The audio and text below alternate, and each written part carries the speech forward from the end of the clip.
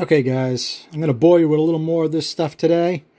I've done uh, quite a few different designs. As of right now, this one is pretty close to the best I've done. And I do like the way the uh, flag flows around. So let's take... Uh, let's turn it on. I think I figured a way to keep the glare off the screen. Let's see if that works. All right, lower your uh, lower your volume.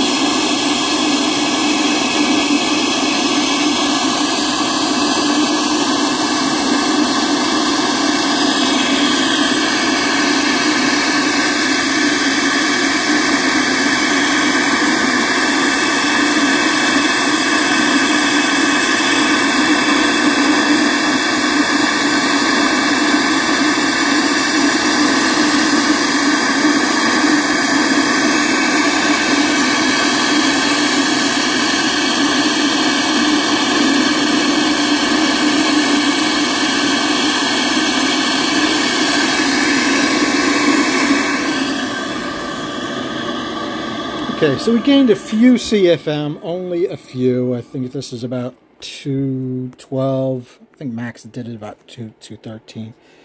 Now, I worked on this side of the chamber plenum, and I, I knocked that big chunk of, of iron off and blended it with the bottom, but it really didn't make that big a difference. I thought it would the way the flag bends around there, but it didn't make a big difference as far as flow. You can see, well, I think you should be able to see, I tried a, a ton of different textures. I'll show you how I did the different textures, because that's some interesting stuff. I was, I was off the deep end today. How unusual! Let's take uh, let's take a look at my scribble because there's a bunch of tests and I want to go through it quick because it's just too incredibly boring for even me to go through. Okay, all the flows on this page are going to be uh, 10,000s, 20,000s, 30,000s, 40,000s, 50,000s, 60,000s, 70,000s. Okay, so this is completely empty plenum with our drilled spots. Okay, we max out at like 198. Now I did a big dome in the middle with small ones on the side, all smooth. And I got these flows. It went up a little bit. Not a huge amount, but a little bit. Then I did a diamond texture on the same setup. How do you do a diamond texture? Well, I'll show you. I have a diamond style burr.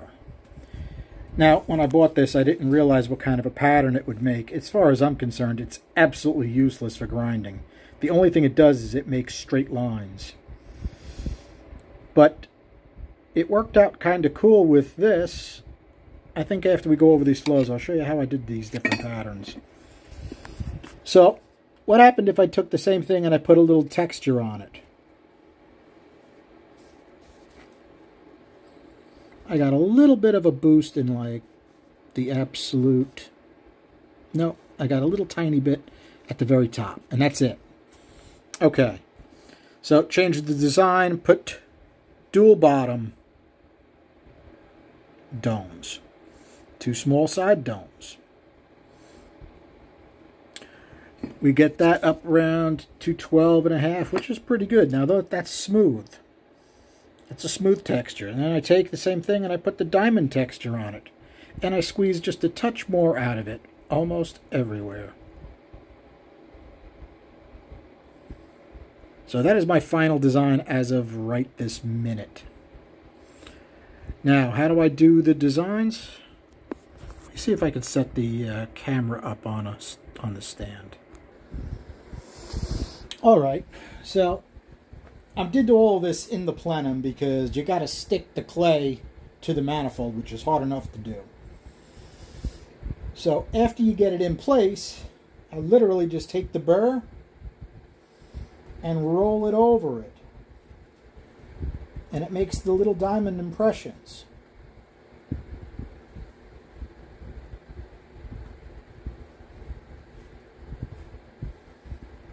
Now, will I be able to do something like this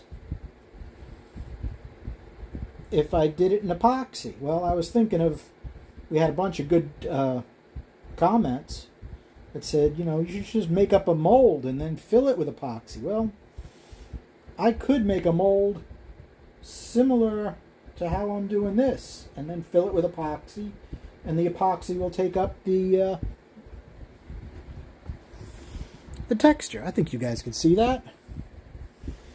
Now, because I'm out of my mind, that was not the only texture I thought up today. Let's pause here. Okay, let's see if you guys can see this.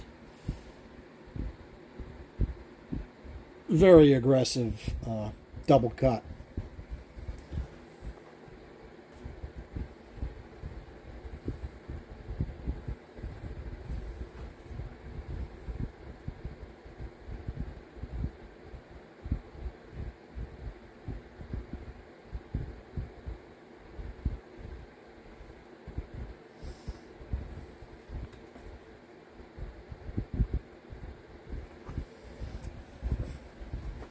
I think it looks pretty cool. Now, the more aggressive texture did take a few CFM away. But depending upon the fuel you're using, it may be worth a few CFM. Let's do uh, let's do at least one more. I should add to that the type of fuel and the type of either carburetor or fuel injection would make a big difference what kind of texture you want. If you're using something like a throttle body injection, that is uh, pouring a lot of liquid fuel, you would want something relatively rough, which is what I used to use my throttle body injection stuff.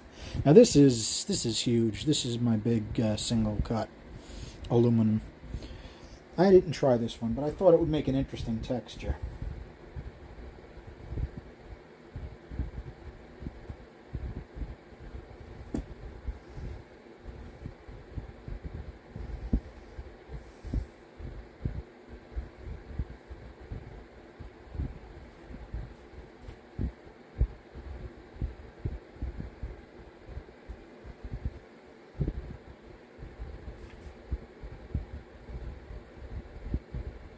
Since it makes such big cuts, I would go over it more than once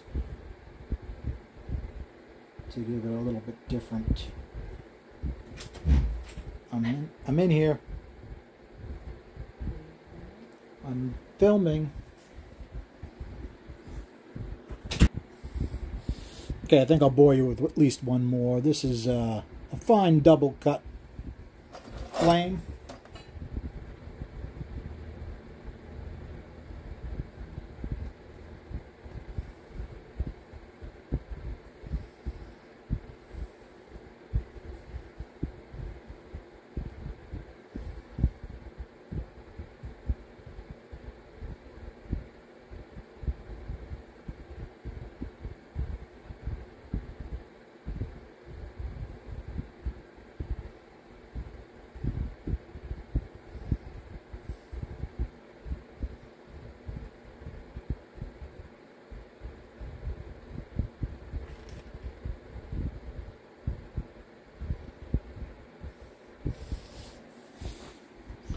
I think I like it. What I do like about the diamond, which is why I, I really picked it, is it's non-directional.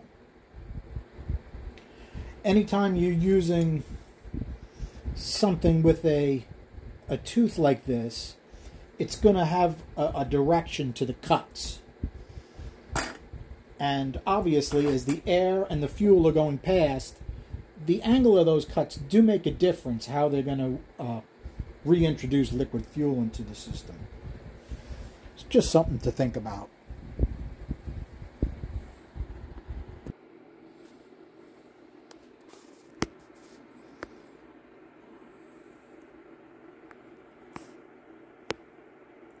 Okay, we should add that the plenum actually likes the domes on the side, which is interesting since the plenum is ridiculously tiny. You would think it wants as much area as possible, but it likes that. You do have some, we have some flag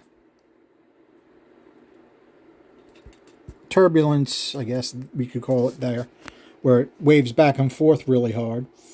But it does the same thing with nothing in the plenum. So overall, the flag is definitely a little calmer with these in place. All right, guys. Where 11 minutes goes, I have no idea. But if you put up with this, I give you credit, guys.